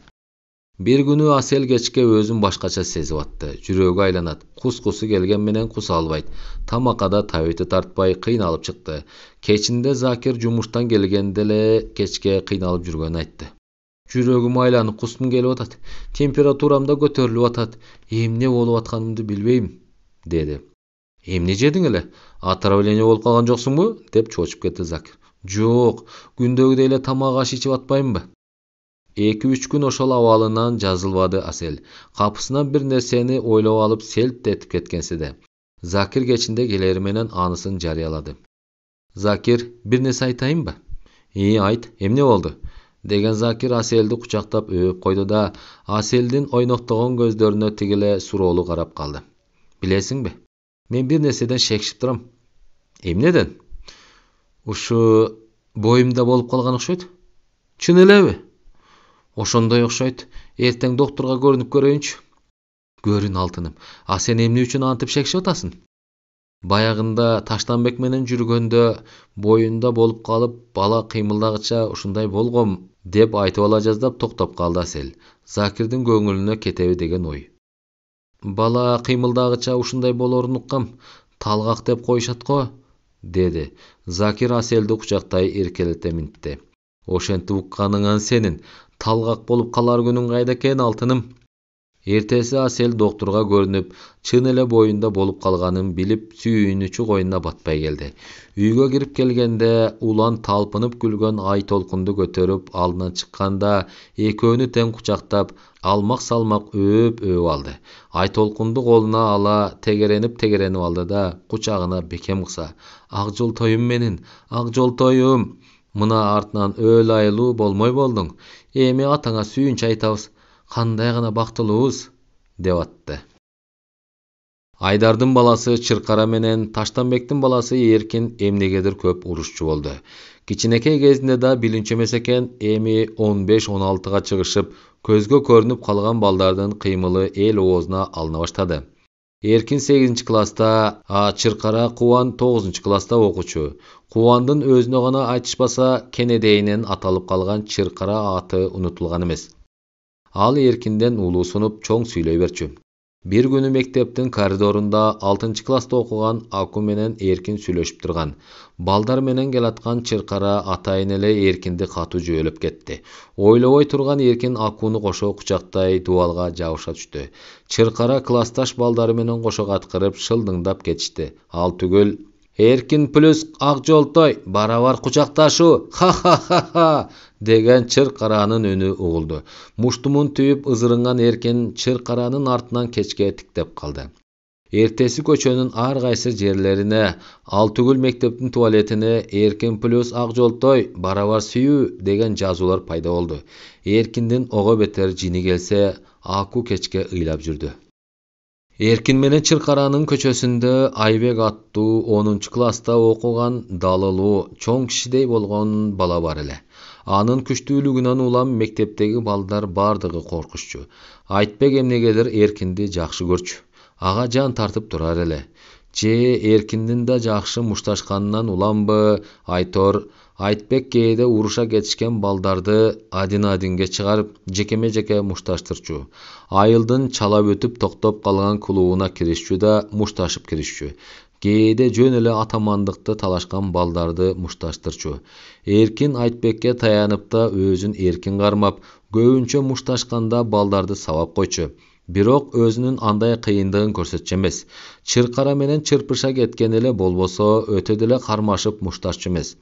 Бирок ар дайым боюн көтөрүп чыр жүргөн неме чыркара ар дайым эле ар ким менен мушташып көбүнчө жеңип да жүрөр эле атаман болуп көп балдарды башкарып көп көлөң жүрчү айтбек аны деле көтөрмөлөп жүрчү эркин чыркаранын бойлуулугунан улам да өзүнөн күчтүү сезчү кечке чыркарага жини келип жүргөн эркин атайын айтбектин үйүнө барды айтбек үйүнөн күлүп чыгып келди ал дагы окуса керек жазууларды эй кандай ак жолтойдун сүйгөнү деди эркин айтбек байке сизге эркекче сөзүм бар эле деди айтбек мостое түштү кулагын төшөй калгансыды байке чыркара катындык кылып жүрөт.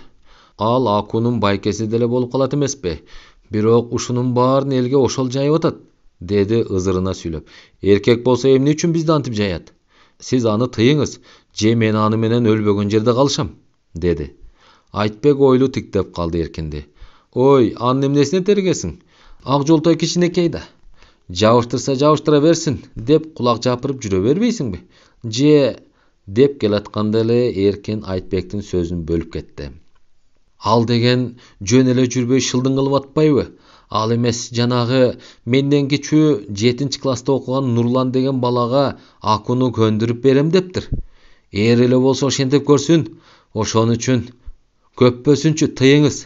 Эркек болсо эркекче болсун эркек болбой катын болсо адин адин чыксын болуптур болуптур эртең кечинде клубка кел көрөбүз эркин айтбек менен кол алышты да чыркарага жини келген боюнча тиштенип муштумун бекем түйө үйүн көздөй жөнөдү бүтпөй калган клубтун киши көрбөгөн жерине он чакты бала чогулду алардан соң кабелтең айтбек чыркара менен эркинди ортого алып чыкты да минтти кана чыркара сен ак жолтойду жабыштырып элге жайып жүрүпсүң.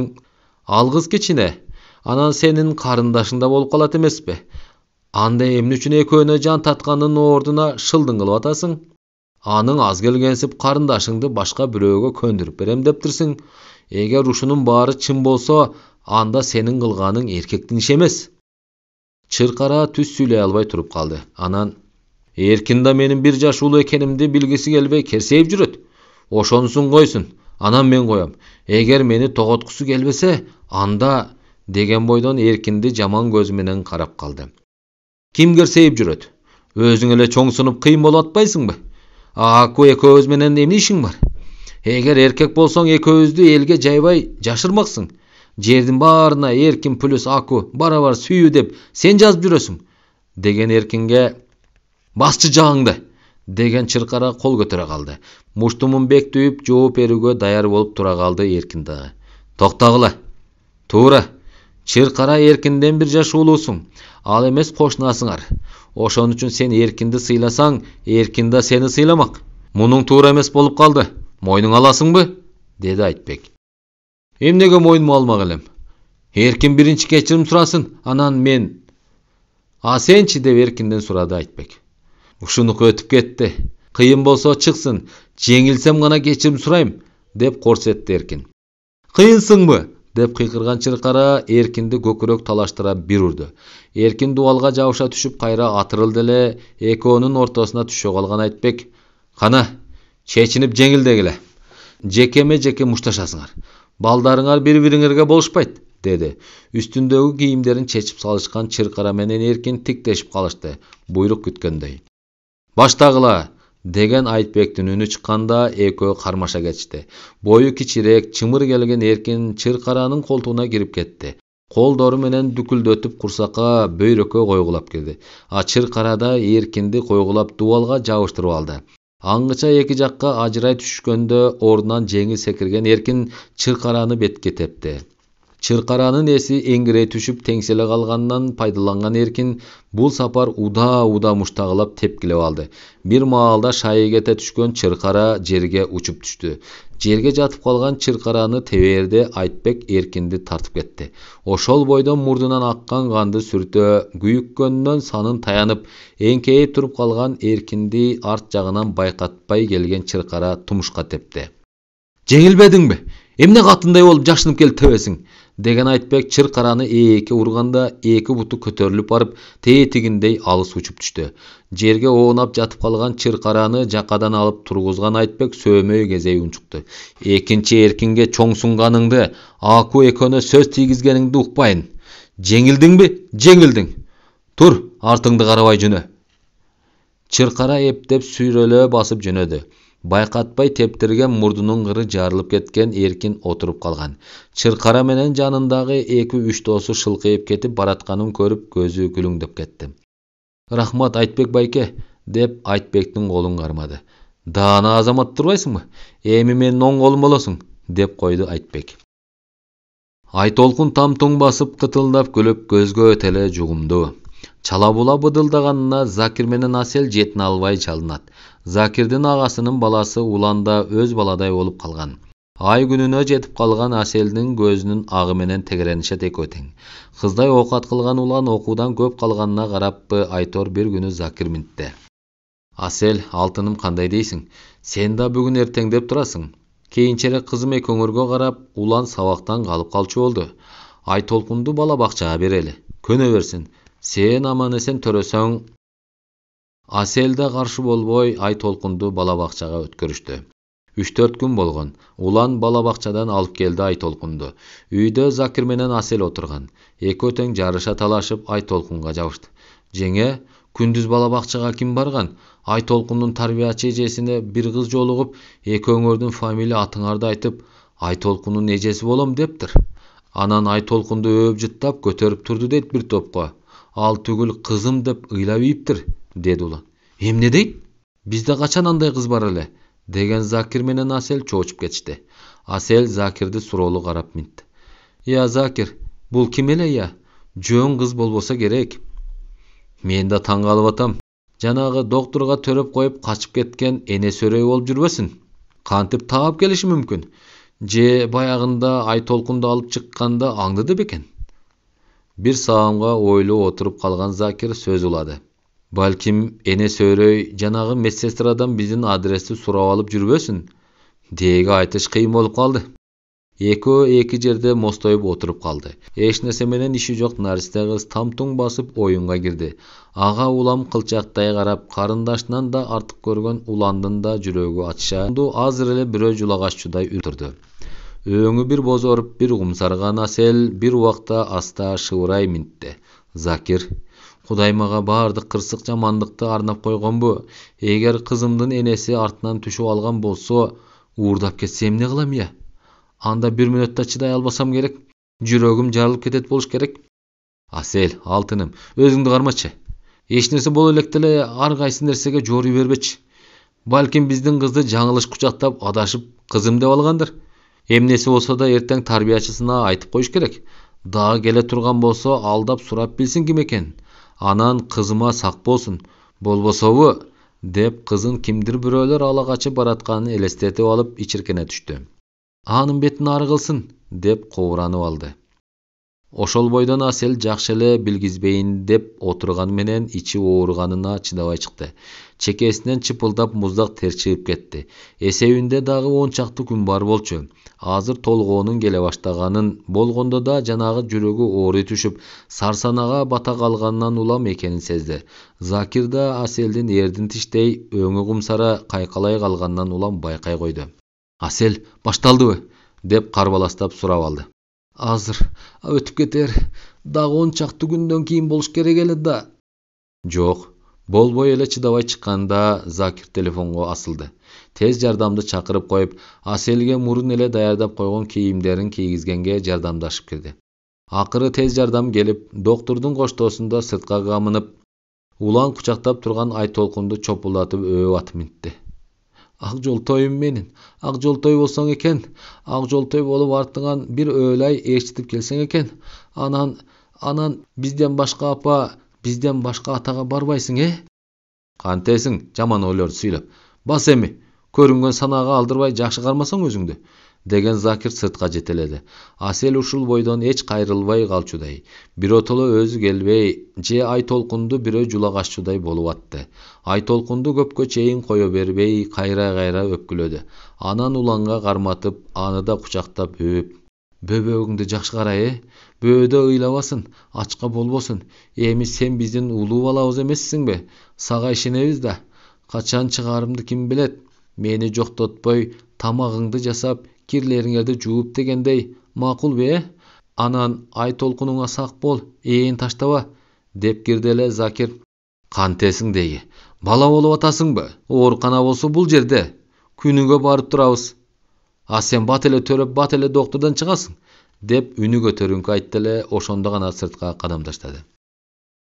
Эки күн өтпөй эле ак жолтойдун класс жетекчиси мектептин тарбия башчысы болуп керимдин үйүнө кирип келишти салы ички үйдө бирдеме сирдеме кылып аткан керим короо жайында тиричилик кылып жүргөн салы тиги экөөнү тең тааныйт эле колу колуна тийбей чебеленип кетти кергиле киргиле төргөтсөңөр тарбия башчы көптү көрүп калган шааркан деген аял ак жолтойдун класс жетекчиси күкүн деген келин эле ак жолтой экинчи үчүнчү класста окуп жүргөндө класс жетекчиси келе калчу болбосо жыйналыштарга мектепке гана барышчу бу сапар келгендерине түшүнө албай чай коюп тасмал жайып тигилерди улам суроолу карайт тарбия башчы жөн салды ал акыбалдарын сурап ал дагы сөз баштай албай атты сөздүн башталышына саалый өзү себеп болду окшойт себеби минтип сурап алды күкүн аку сабакта эмеспи алар тарай элек да э кызымдын окуусу кандай деги көптөн бери мектебине да бара элекпиз күндөлүктөгү бааларын көрүп эле көңүлүм ток кээде сен дагы күндөлүгүнүн аягына тарбиясы жакшы деп жазып кол коюп коет турбайсыңбы аны көргөндө ого бетер төбөм көккө жетип калат а силер жөн жай элеби үй кыдырып жүрөсүңөрбү же ошондо гана тарбия башчы үнүн жасай минтти эже сизди абамды жакшы билебиз жакшы кишисиңер кызыңар да жакшы жакшы окуйт бирок мына бул кошунаңар таштанбектин баласы экөө ушак угуп ушунча да ата энесин жалпы мектепти моунча айылдын элин уятка калтырбасын деп ошол жөнүндө сүйлөшөлү деп келдик эмне дейсиңер деген саалыйдын өңү бозоро чочуп кетти шааркан менен күкүндү алмак салмактыктей сөз күтүп отуруп калды салый тарбия башчы ошо бойдон сөзүн улады эми аны өзүңөр деле жакшы билет турбайсыңарбы кээ бир мугалимдер деле көрүптүр эркин плюс ак жолтой барабар сүйүү деп ар кайсы жерге жазылган сөздөрдү. Андайлар көп эмеспи дегендей кылып көп деле маани беришкен эмес экен. Азыр болсо мектепте дуулдай баштады. Бүгүн эртең менен кызыңыз сабакта отурган экен. Бул класс жетекчиси күкүн экөөбүз ээрчитип чыгып алдап да урушуп да сурап көрдүк. Ал эркин деген менин байкемдей мен аны менен жүрбөй элемин деп ыйлайт акуга ишенели десек өзүңөрдүн эле тууганыңар айдардын баласы менен эркин да ушу аку үчүн мушташыптыр эркиндин бети башы көк ала болуп жүрөт аны өзүнчө чакыралы десек такыр жолобой качып атат айла кетсе мектептин болгон окуучулары чогулган линейкада окуучулардын алдына чыгарып уят карабыз ошон үчүн ошого чейин тыйыш керек азыр кирсек таштанбектин аялы бар экен деги эле баласына чаң жугузбайт андан көрө акууга акыл насаатыңарды айтып ушунчада тыйгыла. Болбосо алтынчы класстан окуп атып эркек бала менен жүрсө арты жакшы болбойт. Бирде болбосо бирде эркин деле силердин кыз деле чоңоюп калды. Анан билинбей атып кызыңар ушул жерде курсагын бөрсөйтүп жүрсө. Шааркандын андан аркы сөзүн уккусу келбеген салый көзүн чакчайта кагынып силкинип сүйлөп кирди. Кой айланайын шааркан тим койсо андан ары кызымдын курсагын бөрсөйтүп ийгиңер келет ой уялбайсыңарбы ушундай ой ойлогондон кенедей кыздан ушундай нерсе күтөсүңөрбү мунуңар болбой калды наристе эле эмеспи аку кенедейинен бир туугандай өсүп калган бу эркин экөө чогуу ойноп ынтымактуу болсо ынтымактуудур аны жанагы жашабаган айдардын чыр сыяктуу балдар чыгарып аткандыр менин кызым үчүн урушкудай алар кимдир экен бу шүмшүк чыркара акума чукул ага болуп атса анан эмне кыз талашып урушмак беле оптуураак сөздөрдү сүйлөсөңөр обу жок кепти айтпай өңгөсүн билбейм менин кызыма андай болбогон кепти жармаштырганыңарды койгула жок болбойт экенсиңер болгон жердин баарына барам айтып коеюн керек болсо кызымды текшертем ак жеринен байкуш кызымды ыйлатпагыла да эгер таза ак жеринен ушинтип бөөдө ушак менен ууду кыла берсеңер сотко деле барам кудай урбадыбы акыйкат деген бардыр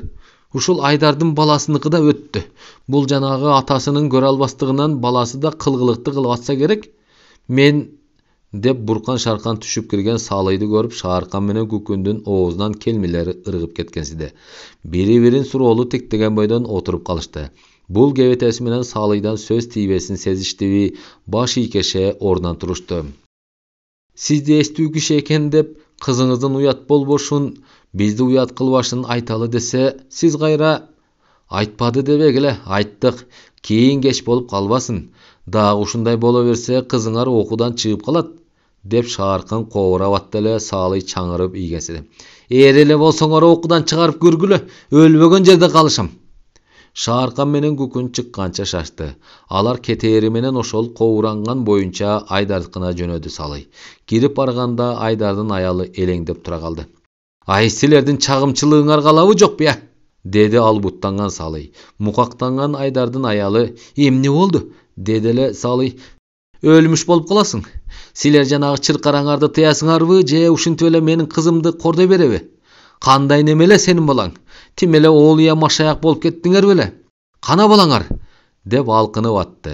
Айдардын аялы бүжүрөп ар кайсына айтымыш болду.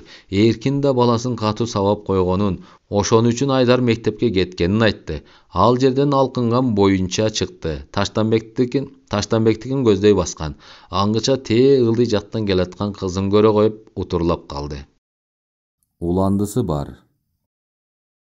Каналдын өнүгүшү үчүн подписаться баскычын басып коюуну унутпаңыздар.